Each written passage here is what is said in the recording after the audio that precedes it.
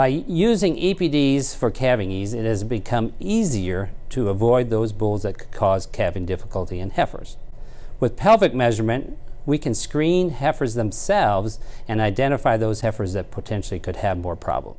Your veterinarian can take a pelvic measurement by using a pelvimeter, inserting his or her hand into the rectum with the pelvimeter. The height of the pelvis is measured from the pubic symphysis at the cranial edge of the pelvis up to the sacral vertebrae.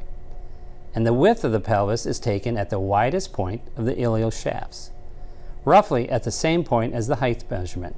Multiplying height by width is the convention for calculating pelvic area. If you are using a longer estrus synchronization protocol, such as the 14-day CIDR PG protocol, the day of CIDR insertion is a great time to have your veterinarian do a full pre-breeding evaluation with pelvic measurements and an evaluation of the reproductive tract. Having your veterinarian take a pelvic measurement is relatively easy. However, you need to know how to use that information. A pelvic measurement is a screening tool, not a selection tool. In other words, don't rank heifers based on pelvic area and select the heifers with the largest pelvises. If you do, you actually just select for larger frame animals.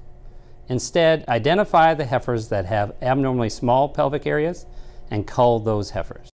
I suggest that commercial producers use the guidelines we recommend in the Show Me Select replacement heifer program. In that program, pelvic measurements are taken during a pre-breeding examination performed four to six weeks before the start of the breeding season. At that time, heifers are required to have a pelvic area of at least 150 square centimeters. Heifers that have not reached puberty at the time of a pre-breeding check tend to have smaller pelvises. If you do expose these heifers and they become pregnant, it is recommended that you recheck the pelvis at a pregnancy exam. In the Show Me Select program, a preg check has to be performed within 90 days of the start of the breeding season. At that time, Heifers that needed to be remeasured will have to have a pelvic measurement of at least 180 square centimeters. By culling those heifers with abnormally small pelvises or poorly developed reproductive tracts, the producer can save money on feeding and breeding and other costs. Plus, if the veterinarian takes that pelvic measurement, it is a lot less expensive than an emergency C-section, or even worse, losing a cow and a calf.